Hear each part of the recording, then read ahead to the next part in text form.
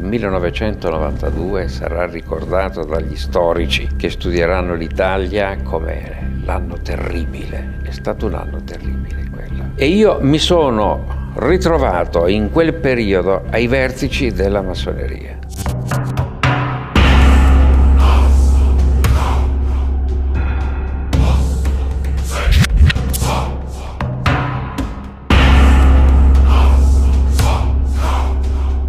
Non c'è soltanto infiltrazione dell'andrangheta nelle logge, l'andrangheta controlla le logge. Eh, lei sapeva che quello che c'era nella massoneria calabrese c'era anche nella massoneria siciliana? Perché lì c'è una concentrazione della mafia totale. Questo non l'ho mai detto a nessuno.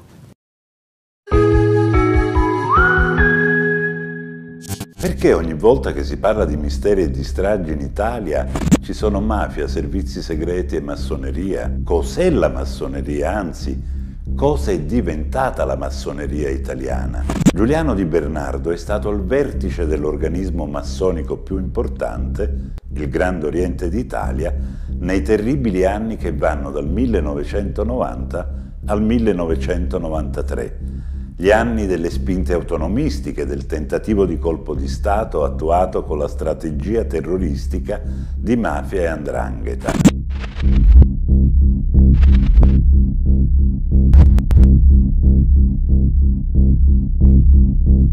Senta, si è massoni per tutta la vita? Sì. Non si nasce massone, si diventa massone con l'iniziazione. La massoneria, nella sua definizione, è segretezza e non cospirazione. La cospirazione può essere una conseguenza della segretezza. Con questo criterio nasce la loggia P2. La loggia P2 non è stata inventata da Gelli, ma risale alla seconda metà dell'Ottocento in cui il Gran Maestro, per dare una certa riservatezza a personaggi che erano i vertici del governo, delle banche, i militari di altissimo livello, poeti come Carducci e Pascoli, eh? cioè si disse evitiamo che questi personaggi svolgono la loro attività massonica nelle logge, almeno per evitare un fastidio. Giuliano Di Bernardo è uno dei testimoni dei magistrati di Reggio Calabria titolari dell'inchiesta sull'andrangheta stragista. Per la prima volta svela una serie di retroscena di quei terribili anni. Spiega che nonostante il divieto dopo la legge Spadolini-Anselmi e dopo lo scandalo della P2 di Licio Gelli, in realtà sono state costituite logge coperte nel Grande Oriente d'Italia. Lei quando diventa Gran Maestro, neanche una settimana di tempo, si presenta da lei un uh, massone romano? L'avvocato Virgilio Gaito, questo non l'ho mai detto a nessuno. E mi dice, ecco, noi abbiamo la certezza, ma non siamo riusciti a documentarlo, che Armando Corona ha costituito logge coperte che sono alla sua obbedienza. Armando Corona era stato Gran Maestro. Era stato Gran Maestro prima di me per cinque anni. E quindi dopo lo scandalo P2, dove poi si decise che non potevano esserci, lui diventa Gran Maestro. Diventa Gran Maestro. E le dicono, guarda che nonostante la legge, nonostante il divieto, ci sono logge coperte.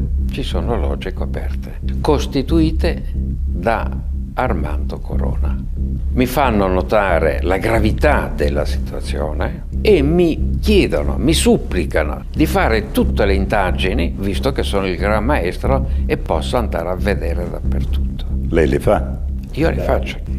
Il mio segretario personale, Luigi Savina, mi informa che un massone calabrese aveva urgente bisogno di parlarmi, ma in maniera del tutto riservata.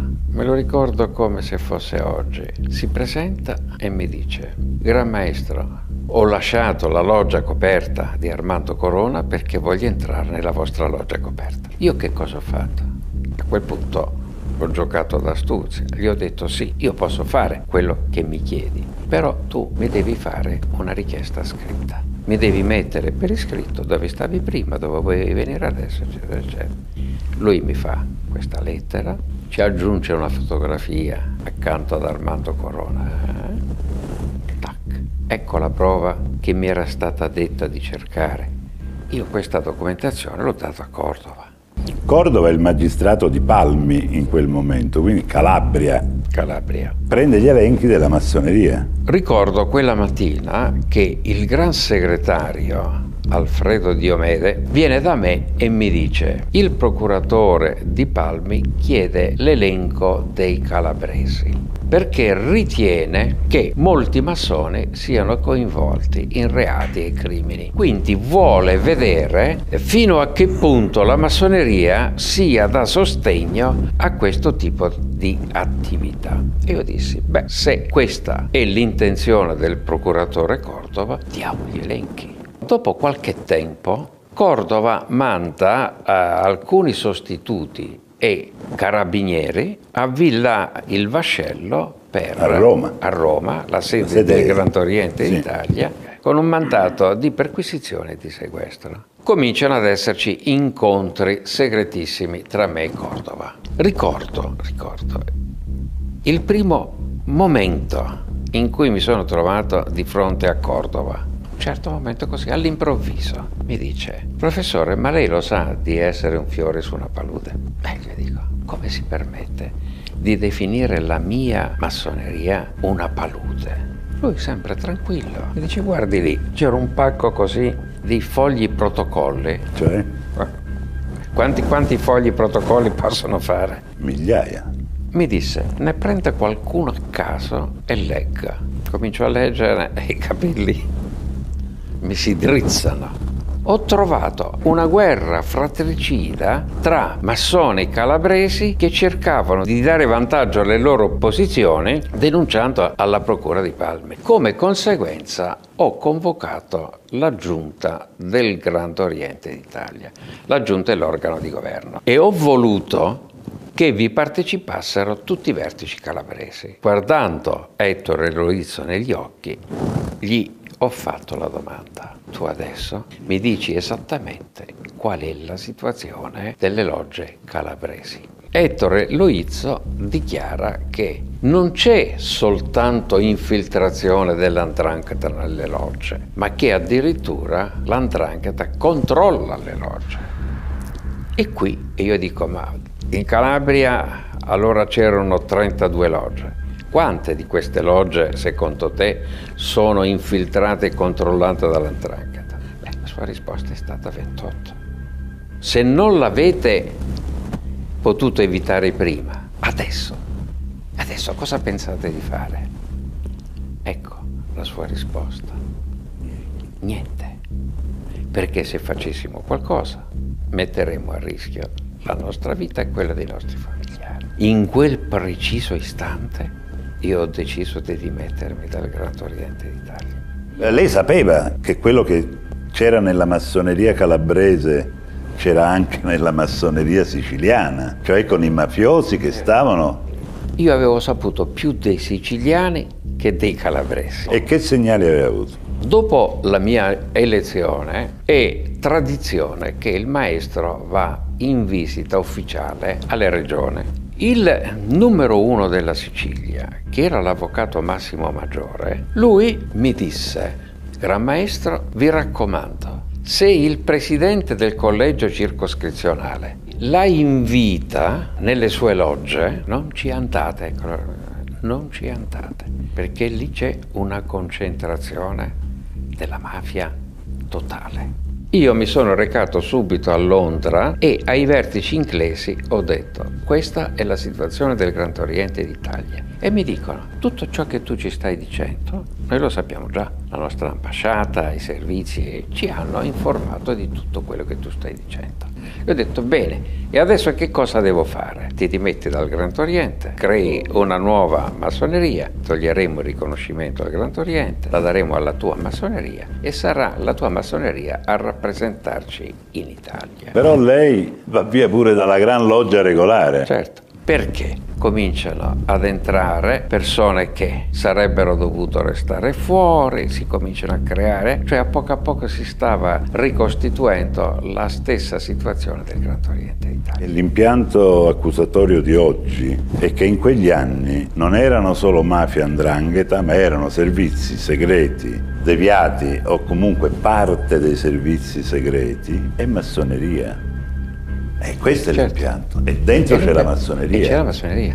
E c'è. E c'è. Ci la stava. massoneria. Ci stava la massoneria ci stava. in questo progetto. Ci stava come, Lei no, come ma io no, ma la massoneria. Ecco, allora, se vogliamo trovare la... un caso le leghe meridionali gli... le, le, leghe meridionali andavano avanti e c'erano massoni che lo sostenevano eh? c'erano i massoni poi nasce Forza Italia ma in quegli no, anni certo c'era cioè, un progetto diciamo, nel nord e di... nel sud questi movimenti di, a, di, eh, di autonomia eh, esistevano e massoni vi erano dentro vi erano dentro questo ormai era stato chiaramente accertato. Questo l'aveva capito anche Cordova nelle Ma sue lei l'aveva capito? io questo l'ho capito dopo però in realtà nel 92-94 la P2 era già nota L'abitudine a operare con logge coperte come la P2 non finisce con l'approvazione della legge Spadolini-Anselmi, ma continua.